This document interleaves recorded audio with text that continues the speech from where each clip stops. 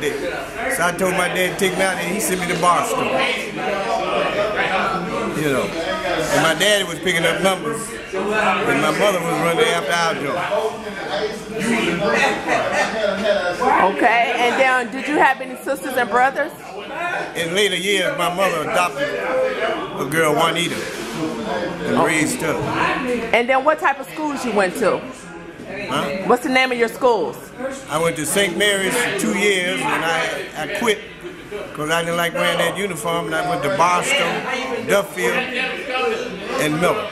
Miller? I graduated from Miller. Okay, and then what was the life of, um, in Black Bottom, Paradise Valley during that time? Paradise Valley is up from Black Bottom. It was on Gratiot. Gratiot and, uh, and uh, St. Antoine. It started from Gratiot and St. Antoine to Adams. And they had a street in between there, Beacom. Okay. And then Black Bottom was? Black Bottom run from Hastings to the railroad track. And then if you went over the railroad track, you was in Upper Black Bottom. Okay. Can you name some of the clubs or uh, businesses that was in Black Bottom? Yeah, they had the Tiptoe Inn with the Bucket of Blood, the Lincoln Bar, and John Lambert. That was, one was on Russell and Monroe. That was the Bucket of Blood, the Tiptoe Inn. Then you had the Lincoln Bar. That was on Riopelle and Monroe. And then you had John Lambert's on Orleans and Monroe. They had a little club there. I mean, you could dance and listen to them play guitar and shit. And what kind of dances did you all have? Did they have names to the dances?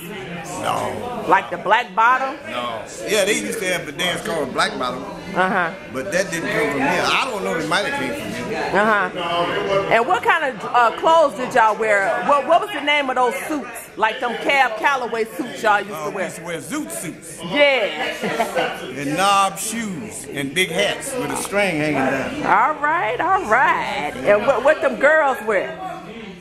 Them old cotton stocking with them funny looking dresses.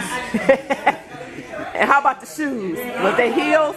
No, they was knobs. Uh the girls had heels on. Uh-huh. And then, um, what is your fondest memories of the uh, the Brewster uh, uh, Wheeler Center or Douglas? Oh, the Brewster, Brewster was a place where black kids could go to because we all used to go to the Y, and the D, the kids in Black Bottom went to the DUS. Uh -huh. And then uh, we go up to the YMCA, and the Y, the Y was on Columbia, and the YWCA was on Mount Carmel. Okay. And what are some of the legends that came out of the Brewster uh, Douglas Wheeler Center? Oh, yeah, a bunch of boxers. Had Joe Louis, had the Bridges brother, Wag, uh, Clinton. What was the twins' name? Uh, the Dungeon? No, them judges, they young. Them oh. As me. Judges, they, they ain't no more about, they've been about 80. Yeah. 80. And then um, you were telling me about the life in Idlewild. Now, how did you uh, come across there? Did you actually live there, or you said your parents owned a cottage there? Yeah, my dad owned a cottage up there. And what was go up there in the summer to the cottage, and Arthur Braggs had a revue up there. He was from Saginaw. He had a revue. They called Arthur Bragg's Revue, a bunch of women dancing. And uh, they would come down to Elsino's and dance. Elsino was here in Detroit? Yeah, it was on Beacom and uh, St. Antoine. Okay. And then what other kind of acts did um, Arthur D. Braggs have? Was it just jazz and blues or it was just... No, they played a variety, you know, a variety of all of that. Okay. And how was the life up in Idlewild? How was the people, the living? It was all right. It was just a recreation place. Right. Where they went up and drank and partied, had fun. Okay. Do you still remember the location um, or the address where your, your dad cottage was? No, I can't remember that. Right, but his name was Big Jake, huh? Yep.